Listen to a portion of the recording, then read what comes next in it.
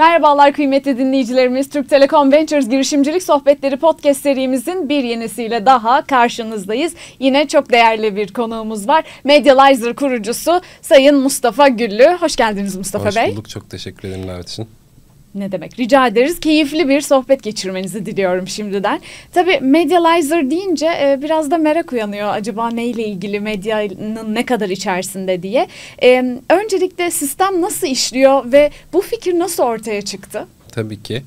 Ee, ben e, dijital pazarlama kökenliyim. Ee, aslında üniversiteden beri e, hayalim de bir teknoloji girişimcisi olmak. Bu o hırsla da biraz farklı alanlarında çalıştım. Medya satın almada, edtech'te, e-ticarette. Evet dijital pazarlama işte biliyorsunuz çok ölçülebilir bir şey. Yani sizin e, gördüğünüz tıkladığınız reklamların e, satışa ne kadar dönüştüğü çok ölçülebilir bir şeydir. E, ve bu anlamda da aslında çok pazarlamadan çok finans işlerine daha çok benziyor. Analitik bir iş.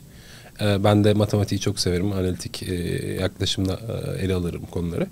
Sektörde ilerledikçe televizyonun, televizyon reklamlarının da yer aldım. Medya planları önüme düştü ve açıkçası şok oldum yani televizyonda ölçülen şey reklamı izleyen kişi adedi rating dediğimiz şey bu aslında kaç kişi izliyor.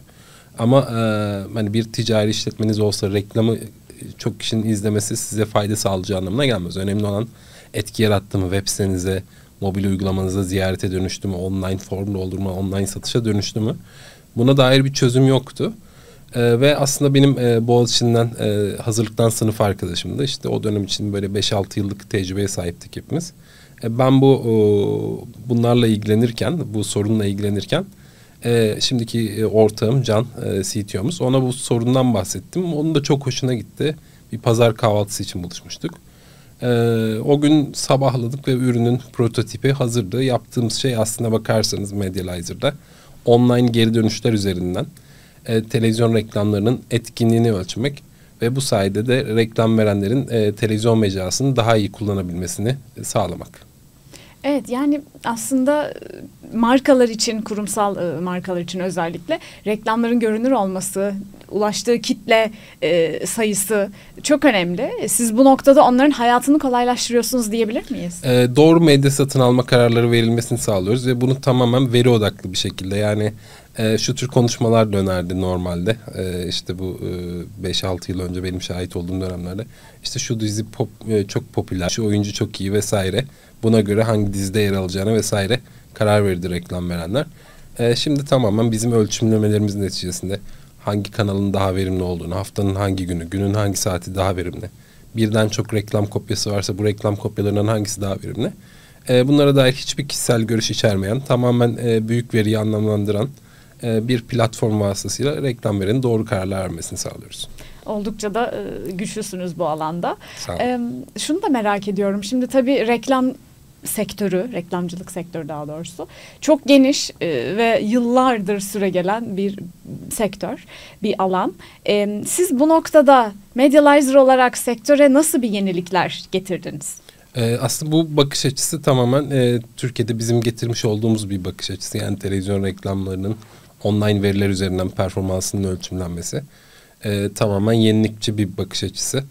E, daha sonra bizim e, sağladığımız bu platform e, bir noktada tabii ki de e, bu anda, alanda çalışan profesyonellerin işlerini e, daha iyi yapmalarına olanak sağladı ama çok da kolaylaştırdı diyemem. Yeni bir boyut katmış oldu. E, yeni bir analiz katmış oldu. Ciddi anlamda e, reklam verenlerin e, büyümesini, elde ettiği sonuçların e, artış sağlamasını e, görmüş olduk Medializer ile birlikte. Yani rekabeti biraz kızıştırdık diyebilir misiniz? Mutlaka. e, bu yılı Medializer özelinde e, değerlendirirseniz nasıl geçti bu yıl ve e, bundan sonraki hedefleriniz neler? Tabii Medializer da e, üç buçuk yıllık bir firma. E, startuplar çoğunlukla negatif EBITDA firmalardır. Yani e, giderleri gelirlerinden daha fazla olan firmalar ve bu aradaki açıda yatırımla kapatırlar. E, 2023 yılın başında e, sadece Türkiye değil yurt dışında da aynı şekilde e, fon bulmanın, e, yatırım bulmanın zor olduğu bir yıldı. Ve bu 2023'te sağ kalan e, girişimlerin e, güçlü çıkacağı e, söyleniyordu. E, bizim adımıza da öyle oldu. Daha fazla kendi öz kaynaklarımızla e, ayakta kalmayı öğrenmiş olduk. E, şirketi pozitif EBITDA'ya geçirdik. E, ve şu an tekrar e, aslına bakarsanız e, en başta e, tabii Türk Telekom pilota katılmamızla birlikte onların sağladığı bir desteklerle birlikte aslında e, finansmana da erişmiş olduk. Aynı zamanda e, tabii e, bahsetmeden olmaz. E, çok değerli mentorlarla tanıştık. Bu yıl o açıdan verimli bir yıl oldu. Kendimizi bireysel anlamda da geliştirdik. Önüm Şubat ayında da iki ay sonra Stanford'a gideceğiz. E, öğrenmeye devam edeceğiz. Harika. Şimdi e, kurulduğunuz yıldan bu yana üç buçuk yıl geçti dediniz. O günden bugüne baktığınızda hiç bu kadar e, büyüyeceğinizi, böyle başarılara ulaşacağınızı görebiliyor muydunuz ya da tahmin edebiliyor muydunuz? E, aynı zamanda bir startup kurmak da çok heyecanlı bir şey. Ne olacağını Tabii. bilmiyorsunuz bir yola çıktığınız zaman. E, tahmin edemiyorsunuz. Bir startup'ın en önemli özelliği nedir sizce? Ee, şöyle e, yani bir startup'ın en önemli özelliği problem çözebiliyor olması. Startuplar e, çünkü yerleşik firmaların en iyi olduğu işleri örneğin ben işte bir kola yapacağız Coca-Cola varken hani ne kadar e, barınabilirsiniz hani ülker yapmaya çalıştı o bile ne derece başarılı oldu. Dolayısıyla o problem aslında pazarda çözümü olmayan bir problem olmalı. İlk çıkış noktası e, ve disruptive olmalı. Yani aslında bir anda büyüyebilmesi için e, çok e, ilgi çekici biz B2B alanında çalışıyoruz. O yüzden B2B alanından örnek vereyim. E, bu alandaki yöneticilerin ilgisini çekebilmeli. E, hemen satışa dönüşebilmeli e, B2B alanında çalışan e, girişimler için e, bunları söyleyebilirim. Disruptive olması ve e, problem çözebilmesi. Evet tabii orada iyi ilişkiler yürütmek de e, önemli gerçekten. Girişimciler için, startuplar için zaten bir destek almak, destek görmek e, çok çok önemli. Çünkü yolu çıktığınızda tek başınasınız diyebiliriz tabiri caizse ama o yolda e, birçok e, eş de bulmanız gerekiyor. Yardımcı Doğru. olacak, destek olacak. O nedenle e, bu tarz yaklaşımlarda iletişimlerin kuvvetli olması da çok çok önemli. Peki bu kadar bizi dinleyen e, dışarıda da girişimci olmak isteyen birçok genç var. Onlara tavsiyeleriniz neler olur bu yolda? Ee, öncelikle eğer ki e, birilerinin olumsuz sözlerini çok fazla duyacaklar. E, çok yakınlardan da gelebilir. Sizin iyiliğinizi isteyen kişiler. Çünkü girişimcilik riskli bir şey e, sizi vazgeçirmeye çalışanlar olacaktır. Vazgeçiyorlarsa zaten e, vazgeçsinler. Yani tamamen e, böyle çelikten bir irade gerekiyor. E, en başta kendinize inanmanız gerekiyor. E, daha sonra söyleyebileceğim şey MVP denen bir konsept vardır. İşte minimum viable product.